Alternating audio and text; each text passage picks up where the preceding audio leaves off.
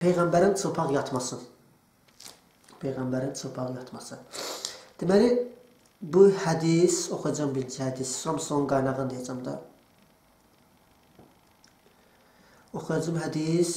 Deməli, ilk ə, Məhəmməd Peyğəmbər oxuyacağım hədis deməli Səhih Buxarinin namaz kitabının 8-ci babının 16-cı hədisi. 8-ci babının 16-cı hədisi namaz kitabında deməli şeyin Əlixan Musavi tərcümə etdiyi müxtəsərdə də 239-cu hədis yuxarı 239 aşağıda da Əl-Buxari 364. Əlixan Musavi tərcümə etdiyi Səhih Əl-Buxari müxtəsər.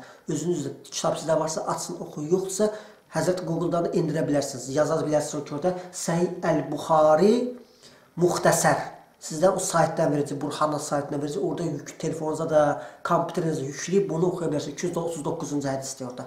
Orada nədir? Cabir ibn Abdullah rəvayət edir ki, Kəbə evinin daşlarını daşıyan zaman Rasulullah da bizimlə birlikdə daş daşıyırdı. Əlinə bir ətək, izar, yəni paltar var idi. Əmisi Abbas Rəsul-i Əkrəmə yaxınlaşaraq buyurdu: "Ey qardaş, oğlu yaxşı olardı ki, ey qardaş oğlu yaxşı olardı ki, öz izarını açıb, yəni özünə bükdüyün paltarını açıb çiynivə qoyardı və daşları onun üstünə daşıyardı. Rasulullah elə də etdi, yəni lüt soyunub izarı çiyninə qoydu və bir addım atmamış, huşunu itirdi və bir daha kimsə onu lüt üryan görmədi. Yəni Peyğəmbər daş daşıyırmış o məscid tikərkən, neyniyərkən orada. O əmisi Abbas deyib ki, qardaş oğlu, sən bu şeyi, üzü bükdüyün paltarı at çiynivə daşı, Peyğəmbər görüm üzü lüt qalmış, o vəziyyət daşıyırmış. Yəni bu nağıl, hekayə. Bu hekayənin birində kim üçün uydurublar? Həzrət Musa əleyhissalam. Musa peyğəmbər haqqında uydurublar. Deməli Musa peyğəmbər haqqında bu nağıl keçir Buxarinin Ənbiya kitabının 30-cu babının 78-ci hədisində, Müslimin Heyz kitabının 18-ci babının 339-cu hədisində. Kimdən nəql olunur? Əbu Hüreyrə. Bu Əbu Hüreyrə yadda saxlayın.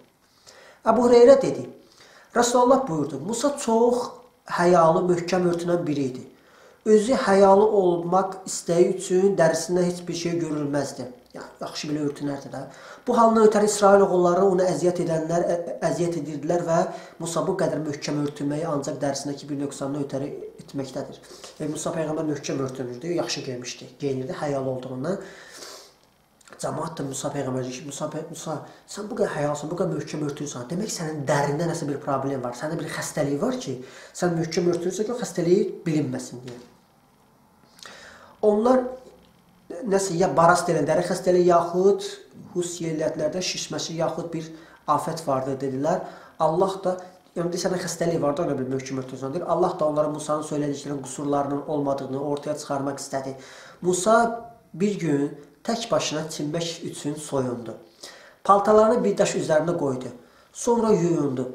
Yuyulması bitincə paltarlarını almaq üçün onların yanına getdi. Bu səfər daş paltarlara diyirlənib getdi. Musa da arxasını götürüb daş tutmağa getdi və e, Musa çimirmiş, daş Musanın paltarlarını götürüb qaçıb. Daş, daş şey demişkən taşdır, taş.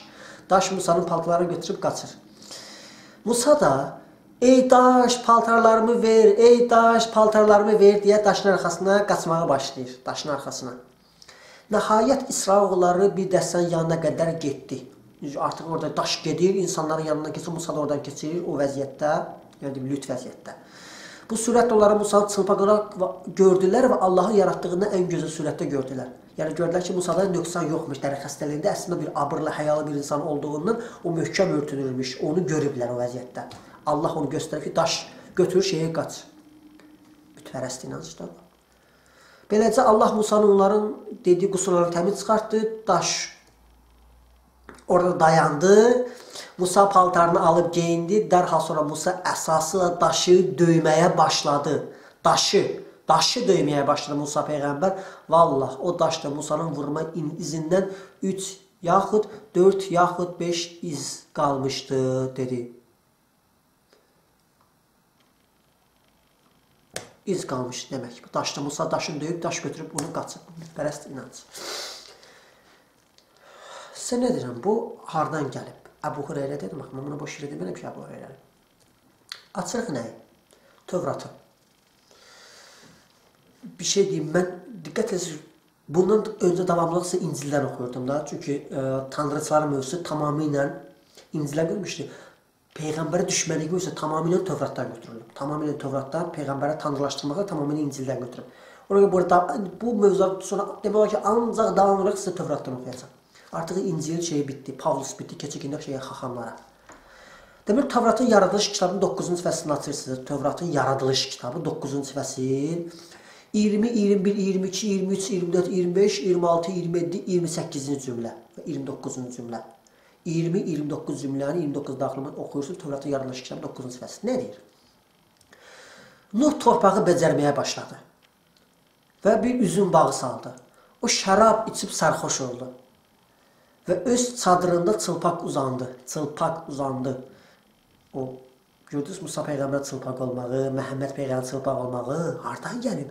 Yahudilərdən gəlib. Çılpaq uzandı. Kənanın atası Ham atasının çılpaq olduğunu gördü və bunun bayırda iki qardaşına söylədi. Sam və Yefəs bir paltar götürüb öz çiyinlərinə saldılar və daldalı içəri girib arxa-arxaya atalarının çılpaq bədənini örtdülər. Onlar üzlərini əks tərəfə çevirmişlər ki, ataların çılpaqlığını görməsinlər.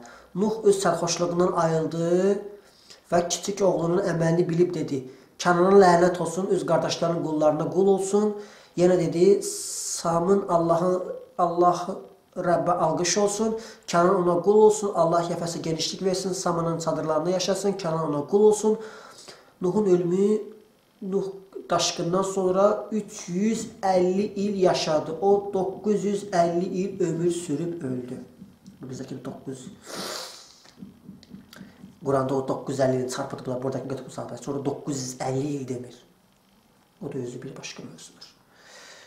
Burada nə göstərir? Mövzumuz adi hissə Nuh içi sərxoş olur və çılpaq lüt yatır.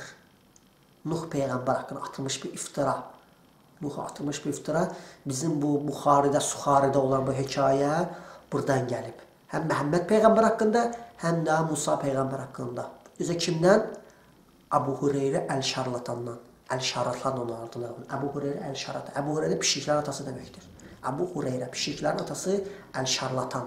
Şarlatan idi o.